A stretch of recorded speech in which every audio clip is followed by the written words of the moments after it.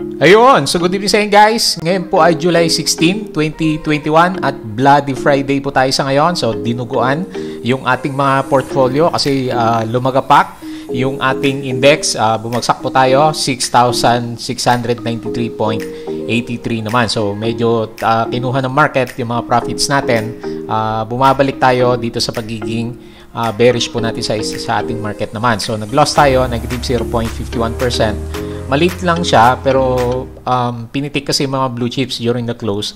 Pero pag tinignan mo, individual stocks po natin, marami po sa kanila is nag-breakdown nga po at papunta na po tayo sa mga oversold conditions naman. So, siguro, malapit na yung bounce niya kasi uh, dire-diretso na bumagsak naman yung ating market. Wala tayong masyadong nakitang bounce sa kanya for the last 2 weeks naman. So, makita mo dito, puro red po yung ating candle. Pero kung titignan mo yung, yung fundamentals po ng ating mga stock, sabi ko nga sa inyo, for the last few days, na nagre-review tayo, hindi naman siya nagbago.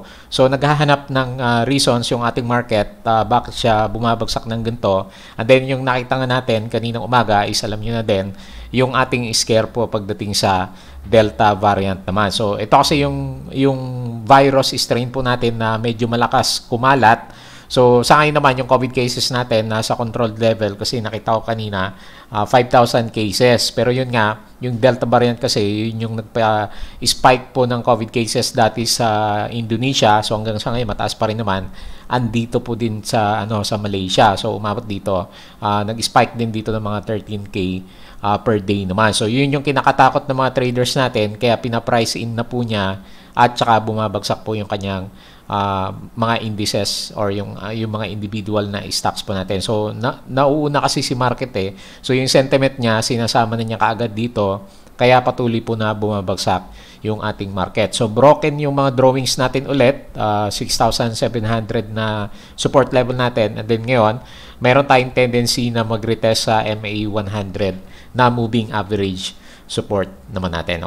Okay. So pag-usapan pa rin natin yung ating trending stocks. Tingnan natin kung nasa na yung mga support levels po ng ating mga nagbagsakan ng stocks. So wala tayong masyado makita na maganda. Lahat po is padaos-dos po yung ating galawan naman. So nanguna si ASN po natin. So kasi medyo malakas yung drop niya. Uh, nag-broken support. Si dito, ganun din. Um, medyo malakas din yung pagbagsak. Si PHA Uh, bumagsak din siya. Pero makita mo dito sa tatlo natin na to kasama si nickel puro net foreign buying yung nakita naman natin. So sumasalo yung ating mga foreign investors sa kanila. Uh, ah, FNI kasama din. Yung ating mining sector kasi sila yung malakas kaninang umaga.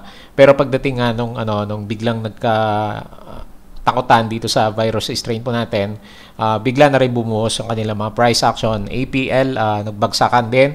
And then si Ever natin na green din is uh, pumunta din sa red section naman ng ating market. And then pag- pag-usapan po natin ng konti yung ating PSCI index naman. Okay? So as usual guys, kung bako lang dito sa ating trading channel. So sabi ko sa inyo, personal study lang po itong ginagawa natin. And then yung decision po ng pag-buy, pag-sell or pag-hold is nasa sa inyo po yan kasi nga meron pong risk dito sa ating stock market. So ngayon, uh, ramdam ulit natin yung risk mode dito sa ating market kahit na medyo naka-recover na tayo uh, after ng uh, May na tuloy-tuloy tayo, di ba? Ilang buwan na bumagsak po yung ating index. Pero ngayon, mas grabe yung nakita ko sa kanya. Instead na dahan-dahan na bumagsak yung ating mga stocks, biglang uh, naglalabasan po yung ating mga investors naman sa kanya. Kaya very risky ngayon po yung ating stock market. Okay? So kung bago ka guys dito sa ating trading channel, sabi ko sa inyo, please don't forget to subscribe dito po sa ating Palabi Trader na YouTube channel. And then kung gusto mo ng guide dito sa ating market, meron tayong uh, membership button dito sa kanya. So i-check mo na lang. Or pwede rin naman mag-aral ka lang dito sa mga daily na uploads po natin sa kanya. So daily, meron naman tayong in-upload dito. Lahat po is majority mga technical analysis and then pag meron tayong time is nagba-vlog naman tayo doon sa mga uh, interesting na stocks, uh, yung ating mga rates and then ngayon, di ba, pinag-uusapan sa ngayon pero hindi masyadong pansin is yung ating IPO naman ni Del Monte. So mukhang August papasok. So maganda kaya mukhang hindi maganda yung timing ni Del Monte natin ha. So, and then meron din tayo mga company reviews dito guys, uh, yung ibang REITs natin, uh, nandito rin siya. So, check mo na lang siya. Ito yung natin, kung magkaroon tayo ng time is ibablog po din natin yung mga updates po nitong si uh, Monde Nissen naman natin. And then, uh, check mo din yung mga sample trades natin at saka yung ating mga uh, technical indicator. So mag-aral na lang muna tayo habang uh, hindi po maganda si market. Uh, tingnan po natin, i-recheck natin, reassess natin yung mga trades natin.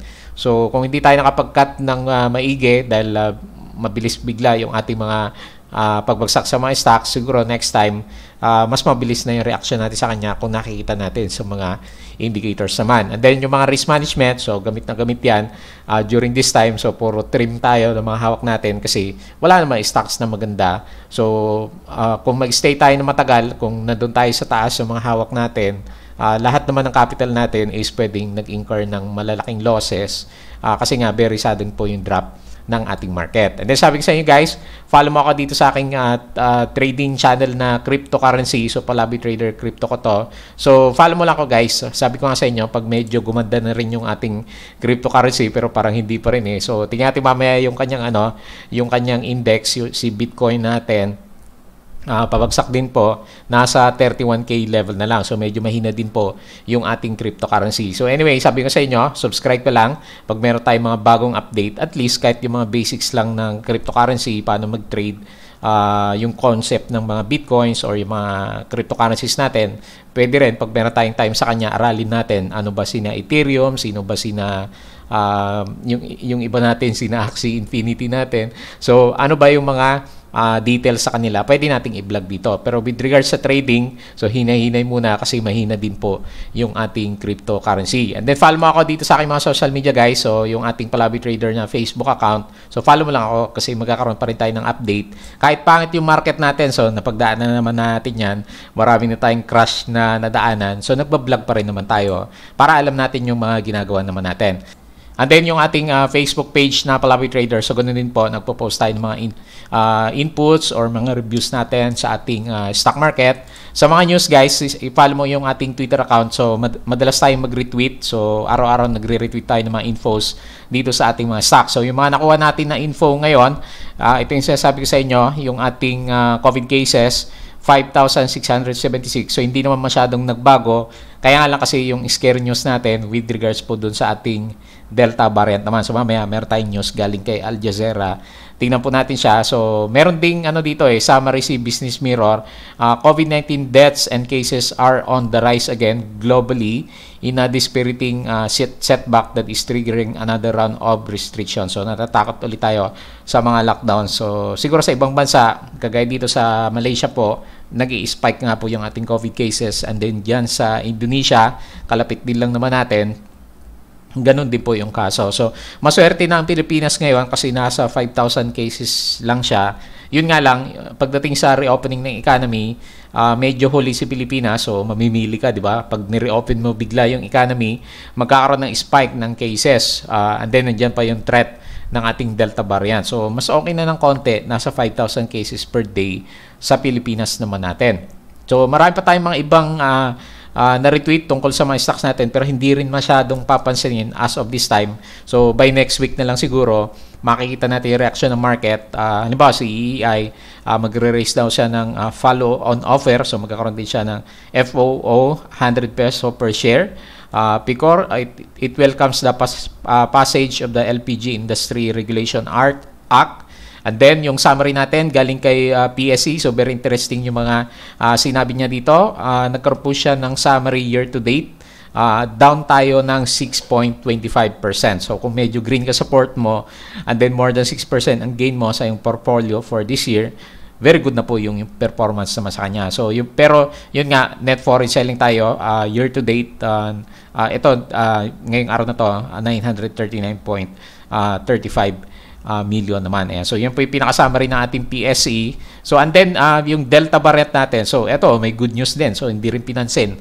Um, kalalabas lang, meron tayong 1.6 million doses of Johnson and Johnson single shot vaccine arrived in the Philippines according sa World Health Organization naman natin. So makakatulong po ito.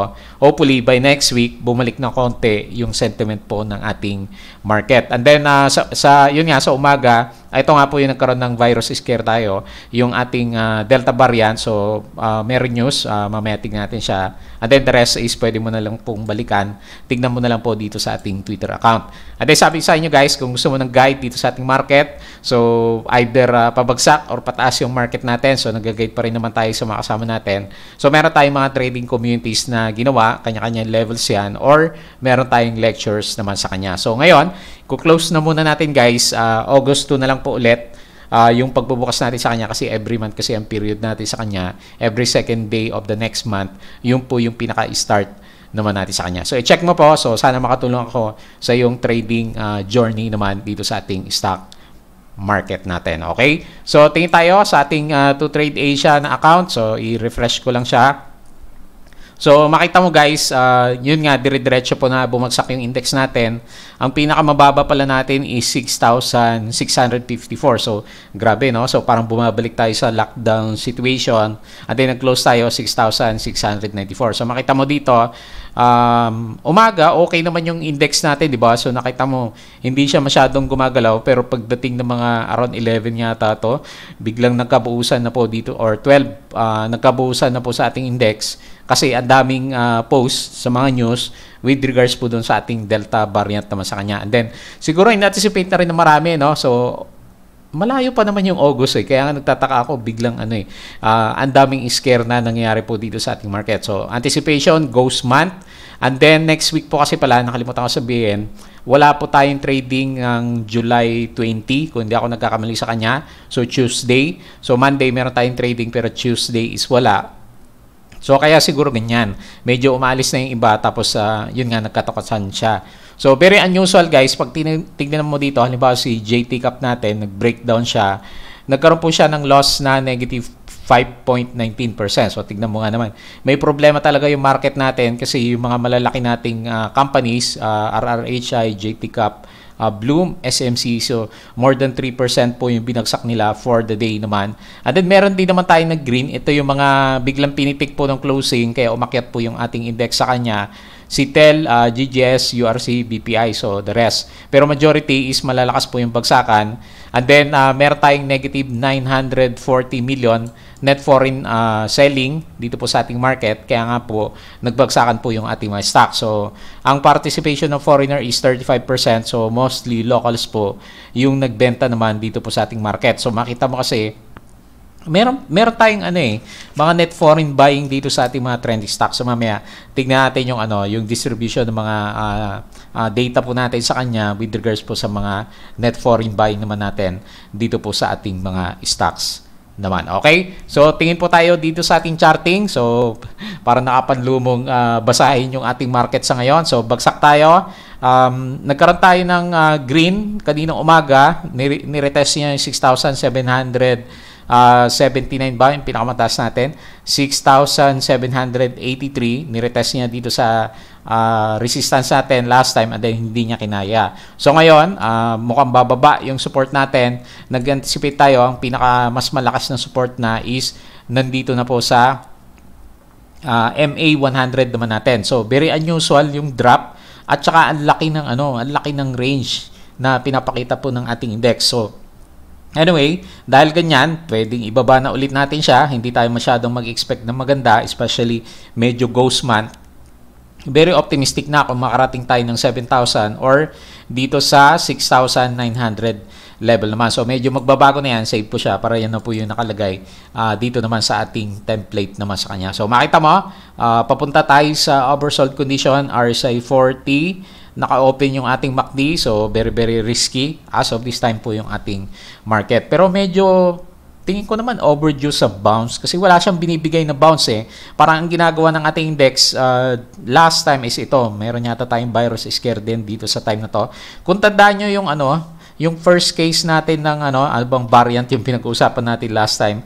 Yung isang Pilipina punta sa nagpunta sa Singapore yata and then meron siyang uh, variant of concern na nakita and then suddenly nagkaroon tayo ng malaking uh, mga breakdown ng ating prices. Pero tingnan natin, nag-rebound naman tayo last time pero yun nga medyo limited na tayo up to 7,000 level na lang siya. So siguro ito na nga yung pinaka-peak natin uh, for this uh, trading cycle naman natin sa kanya. So ngayon, maghanap tayo ng support, 6,600 level na po, yung pinakamalapit na support naman natin. So bawas ng konti sa risk, pag medyo babad ka sa market, medyo ramdam mo yan, uh, marami po tayong mga individual stocks na napagsakan yung kanilang mga prices naman. So ito yung mga news pala, nakalimutan ko na sabihin. So ito yung galing kay Al Jazeera, yung sinasabi ko sa inyo, Philippine confirms first Delta variant death amid vaccine drive. So actually ang kinakatakot ng karamihan dito is yung local transmission po ng ating uh, Delta variant. So yung kasi yung mabilis na kumalat uh, sabi ko sa inyo dito sa Malaysia at saka sa Indonesia. Kaya medyo risk averted po karamihan ng ating mga uh, traders sa kanya. So the Philippines has confirmed its first death and locally transmitted case of more infections Delta coronavirus uh, var- variant. Uh, the health ministry said on Friday. So nagkaroon sila ng press con And then uh, 11 11 lang naman yung sinasabi na ano eh locally acquired pero yun nga siguro uh, pina-price in na po ng ating market na baka dumami.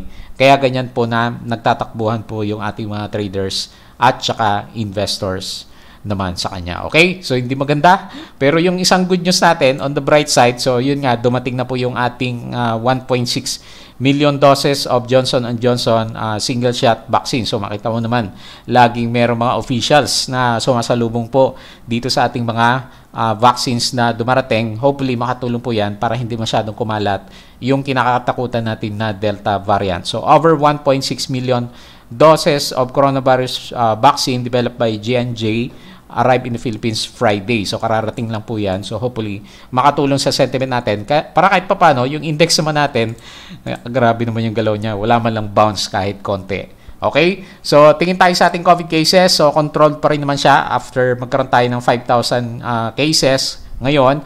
And then, uh, kahapon is 5,200 cases. So, sana nag-normalize na po yung ating COVID cases naman sa kanya. And then tingin tayo sa ating uh, major indices, so S&P, Dow Futures, Nasdaq. So mukhang magre-recover. So actually hindi naman sila masyadong ano eh, nagbabagsakan dito sa US. Pero makita mo, uh, parang ganun lang, sideways lang po yung galaw. So, pero ngayon, te, dahil medyo nag-correct siya kanina, um, yung ating European market, meron siyang pinapakita na weakness, pero hindi naman ganun kalakas as compared naman sa Pilipinas. Kasi um, uh, normal lang yung, ano, yung mga pagka-red po ng kanilang mga indices. So, pagdating sa Asia, makita mo, normal lang yung galawan eh. So, talagang sa Pilipinas lang po yung ano, uh, maraming takot um, doon sa ating Delta variant naman sa kanya. Kasi makita mo naman dito, oh, wala naman eh. Normal po yung galawan dito sa ating uh, global market. Wala tayong masyado makita na nag-spike ng sobra ng todo sa ating indices. So, yung issue natin, virus scare po pagdating sa Delta variant. So hopefully, kung emotional lang po yung mga traders natin, bumalik po yung ating market by next week naman. Unti-unti lang siguro. So, tingin po tayo dito sa ating cryptocurrency. So, ito yung sinasabi ko sa inyo, not so good pa rin guys dito sa ating crypto world. Uh, kasi si Bitcoin pa natin nasa 31,000. Di makita mo naman, uh, as of this time, pabagsak pa rin po yung ating mga cryptocurrency. So, sabay-sabay sila. Oh, makita mo, parang isa lang yung ano eh, gumagalaw. Uh, lahat po ng cryptocurrency natin is isa yung direction. Maliban dito kay Tether, uh, USDT nat, USD natin, siya lang yung green pero the rest is pabagsak po yung kanila mga prices naman. Okay, so globally, uh, yung ating cryptocurrency at saka Philippine market is down. Uh, yung ating uh, US market at uh, Asian market is maganda po sila. Okay? So yun po yung, yung ating uh, uh, environment pagdating sa trading. So tingin tayo dito sa ating mga trending stock. So medyo hindi maganda yung mga makita natin pero kasama po yan sa trading. So dapat um, willing tayo na harapin kung ano yung mangyayari sa kanya kasi nga may kasamang risk nga talaga po dito sa ating market. So yung ating 9 pesos, so mukhang hindi na bubutasin kasi nag-breakdown po ng price itong si ASN natin. So, uh, virus scare, so alam niyo na, yun yung pinaka main reason. So, uh, broken down yung ating uh, ah, RSI movement. So, maghanap po tayo ng support by next week. So, hindi pa natin alam guys ha, kung ito yung pinaka-support natin sa kanya pagdating sa kanyang price action kasi nga uh, meron meron pagka-emotional po yung ating market. So anyway, dahil uh, nandyan din naman talaga yung support natin, nasa 8 peso level, so yun lang muna yung ilalagay po natin na support uh, dito kay ACN naman natin. So tingnan natin yung kanyang participation ng mga traders natin. Sino ba yung mga nambuhos sa kanya? So ang mga nambuhos is si Call, um, saka si CLSA, FMS, pero yung main buyer po natin is si Call at saka si Maybank. So nag-drop siya. Biglang nag-drop kanina, negative 6 point 93% naman. So meron pero meron siyang ano guys, ha, tingnan mo. Oh. Meron siyang net foreign buying 49.9 million. So what more pag wala yung ano ah, wala yung foreigner na sumalo sa kanya, baka mas malakas pa yung bagsak nitong si ACN naman natin. So takbuhan na, kumbaga literal na takbuhan uh, kasi nagkatakotan nga po dun sa ating uh, virus naman. Okay, pero net foreign buying nga yung ating uh, ACN sa ngayon. So wala tayong nakita news na iba. Next po natin itong si dito natin. So nag-breakdown na po siya, natuloy na yung pagka-breakdown niya. So um, na-break po natin yung 8.57, so 8.2. So, uh, wala tayong magagawa kundi mag-anticipate ng support. Uh, 8 pesos. Siguro 8. Uh, yan yung pinakamalapit sa kanya kasi whole, whole number. Yan, and then, meron tayong gap dito sa area na to. Yan po yung pinaka-support. Pero kung medyo bearish ka, pwede mong ilagay dito sa 7.8. Meron siyang tendency na basagin yung 8 pesos. Uh, makita mo naman Uh, wala pa sa oversold, so most likely baka ibabato na sa oversold. Uh, magkakaroon na ng scare sa kanya kasi wala siyang ano eh, wala siyang masyadong support dito sa area na to. So siguro dito nga yung pinaka-support natin dito sa 7.8 uh, peso level naman. So makita mo yung mga indicators natin, uh, iisa lang po yung sinasabi, um, babakasyon muna si dito natin, medyo mahina po yung kanyang price action naman. Pero ito nga sabi sa inyo, meron din siyang net foreign buying uh, kung wala to, di lalo na bumagsak nga yung ating price action. Meron siyang 2.3 uh, ah, million net foreign buying. So, nag-loss po tayo negative 4.42%. Si Call at BDO po yung main buyer and then si Call at saka si FMS yung ating pinaka-main seller naman sa kanya. So, uh, meron tayong mga news sa kanya kahapon, uh, 'di ba? Meron tayong news dito sa ating uh, Bodega Peak na uh, article. So, ang sabi dito, delete dito telecommunity expanded uh, coverage areas. So naglagay siya ng around 18 more areas uh, added sa coverage nitong si Dito Telecoms natin. According naman kay uh, Dito Chief uh, Administrative Officer Adel Tamano naman natin. Pero hindi masyadong pinansin yung mga good news sa kanya sa ngayon kasi yung nagpiprevail naman sa atin is yung negative sentiment po ng ating market naman. Okay? So, next natin si PHA. Um, breakdown din itong si PHA natin, no? So, after magkaroon ng ano, malakas na profit taking kahapon. So, 'di ba, ang sabi natin not so good kasi medyo malakas nga po yung sell off natin. So, uh, hindi na rin siya natuloy na magkaroon ng recovery uh, below RSI 50. So, wala tayong magawa diyan. Hopefully, 'yan yung pinaka-support natin kasi meron naman tayong candle diyan sa area na 'to. So mukhang nag-fill the gap na siya dito sa area natin ito. So yan na po yung immediate support, yung current price 1.49 pero dahil medyo solid po yung candle at saka volume, baka pwedeng iba, ay, ibaba natin ng konti yung pinaka-support natin. Uh, masyado bang malayo? Pwede dito sa area na to, ito. Kasi uh, nandyan na siya eh. So kung hindi niya kayanin niya, magkaroon siya ng shakeout, uh, pwede dito sa 1.38 po yung ating next, next na shakeout sa kanya. The resistance na po natin. Yung previous support area natin dito naman sa around 1.6 peso level naman. So not so good. Um, hindi na nakatulong yung ano, yung yung nakita natin na ano, na news po dito kay uh, PHA. Galing po kay Mr. Marvin De La Cruz naman natin. Okay? So tingin tayo dito sa kanyang performance. Laki pala oh. Uh, negative 10.24% Tayong net foreign buying, 2.7 million. Uh, si call at saka si Eastern. So, puro call po yung ating uh, buyer sa seller ngayon. Uh, yung ating main buyer and then si call at saka si AAA po yung ating pinaka uh, main seller naman po ngayon dito po sa ating uh, PHA na stock sa ngayon. So, yan po yung mga nakita natin na uh, critical levels po nitong si uh, PHA naman natin. Okay? So, next po natin si nickel. So, sabi ko sa inyo guys, uh, napasama itong si nickel at saka si FNI. Kasi yung index sector natin na mining kanina umaga, sila po yung maganda. So actually, maganda rin maganda rin yung ginalaw nitong si Nickel eh. So nagkaroon siya ng breakout dito sa area na to. Uh, mga 12 12 din yata no nagkabusan itong si ano natin. Ayan oh, nagkaroon siya ng malakas na ano sell off dito sa around 12.35. So grabe.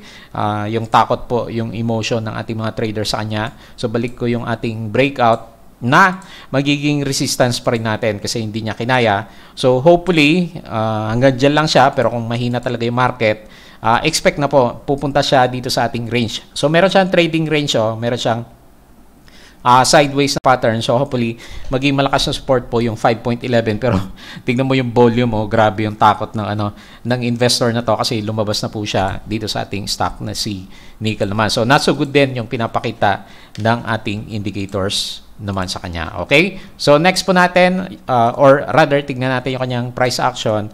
Nag-loss po siya negative 3.26% uh. Meron siyang 25 million net foreign uh, buying. So dahil bumili pala oh. Uh, si Call at saka si FMS yung ating main buyer, si Call at saka si Wealth yung ating pinaka main seller. Pero kung titignan mo guys ha, yung performance nitong si Nickel natin, kaya siguro nagkaroon din siya ng breakout. Yung net foreign buying po natin sa kanya, uh, simula nung ano uh, for one month yata to uh, balikan mo guys yung ato yung history niya sa ano sa net foreign buying one month na net foreign buying po itong si nickel naman natin so hopefully mag mag reverse back yung sentiment po ng ating market by next week naman sa kanya. Okay? So next natin si FNI. So alam mo na rin, ganun din yung sentiment natin. Nagkaroon din siya ng breakout dito sa area na to, 2.6 pero ayaw din.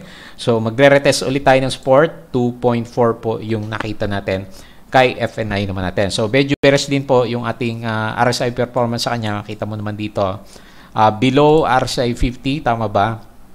Below RSI 50 yung ating price action ng ating RSI and then yung ating uh, candles or price action is bearish din po yung ating nakita naman sa kanya. Okay? So, yung ating performance, meron tayong loss, negative 1.98%. Uh, meron siyang net foreign selling, negative 1.7 million.